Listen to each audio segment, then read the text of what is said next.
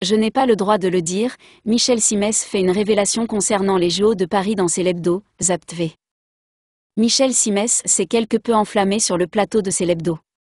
Invité dans l'émission de France 5 ce samedi 3 février, le médecin n'a pas réussi à garder un secret concernant les Jeux olympiques de Paris. Michel Simès ne sait visiblement pas tenir sa langue.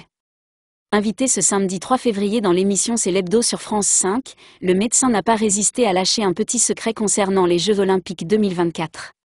À quelques mois du début de l'événement sportif, les préparatifs se poursuivent, même si les derniers propos d'Anne Hidalgo à ce sujet ne rassurent pas. Si l'effervescence est de mise en coulisses, les premières informations arrivent concernant l'un des éléments les plus emblématiques de la compétition, l'arrivée de la flamme olympique à Paris, à la mi-juillet.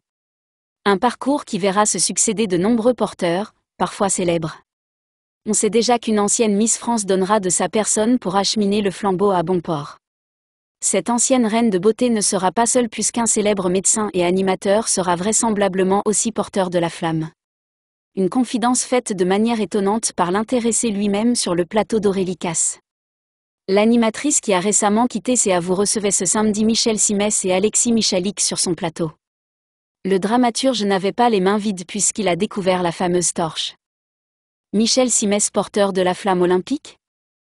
De quoi inspirer une étonnante question à Aurélie Casse, qui a demandé à Michel Simès. Ça vous excite de la voir en vrai?